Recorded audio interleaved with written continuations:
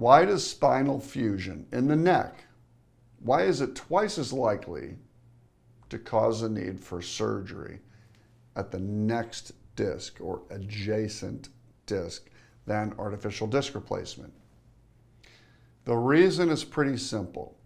When we fuse your neck, or we fuse two of your discs or one of your discs or more, they never move again. The next disc above the fusion does twice as much work than it would have to do normally because it picks up the extra motion and stresses from the discs that used to be moving below.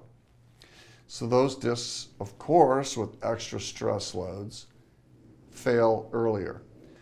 If you read my paper published in the Journal of Neurosurgery Spine, showing the 10 year results of two level fusion compared to two level disc replacement, you'll see the statistical proof that adjacent level surgery is twice as likely next to a fusion than it is an artificial disc.